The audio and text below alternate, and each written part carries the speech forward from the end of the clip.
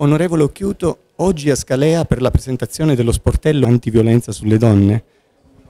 Sì, per eh, testimoniare con la presenza mh, mm, la vicinanza a questa amministrazione, un'amministrazione intelligente retta da un sindaco che ha una giusta sensibilità verso un problema che riguarda la vita di moltissime donne che spesso non hanno il coraggio di denunciare eh, fenomeni di violenza anche nel proprio ambito familiare. Un ringraziamento anche al consigliere di parità, Tiziana De Bonis, che è stata l'animatrice, la promotrice di questa eh, iniziativa. Credo che azioni del genere eh, definiscano il livello di civiltà di una comunità. Complimenti al Comune di Scalea per averlo capito.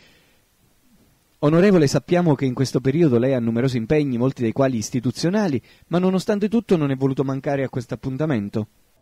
Sì, ma io credo sia un dovere per chi svolge una funzione politica eh, partecipare alle iniziative che vengono proposte dal territorio. Peraltro io faccio il parlamentare da tre anni, sono oggi vicepresidente della Commissione bilancio della Camera, ma ho fatto per due legislature il consigliere regionale, anche oggi che eh, sono espressione di una legge elettorale che purtroppo eh, non consente il voto di preferenza, continuo a comportarmi come se fossi eh, scelto attraverso le preferenze, anzi l'auspicio è che questa legge odiosa possa essere cambiata per restituire ai cittadini la possibilità di scegliere i propri rappresentanti. Da lì in poi forse tanti altri troveranno il tempo che oggi non trovano per eh, stare vicino alle proprie comunità eh, nei momenti importanti e comunque ogni volta che vengono eh, richiesti della presenza.